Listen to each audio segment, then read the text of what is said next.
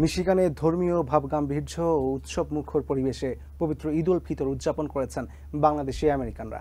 ঈদের দিনে মিশিগানের আকাশ মেঘলা থাকায় প্রবাসীরা ঈদ নামাজ আদায় করেন মসজিদে। এবার আঠারোটি মসজিদে তেত্রিশটি ঈদের জামাত অনুষ্ঠিত হয়েছে।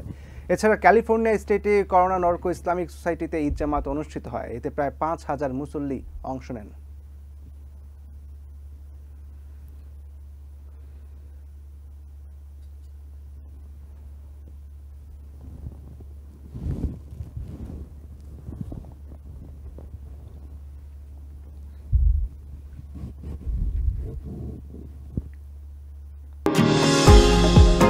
নিউ ইয়র্ক থেকে সম্প্রচারিত টিভিএন টোয়েন্টি ফোর টেলিভিশন বিশ্বজুড়ে বাঙালির কণ্ঠস্বর।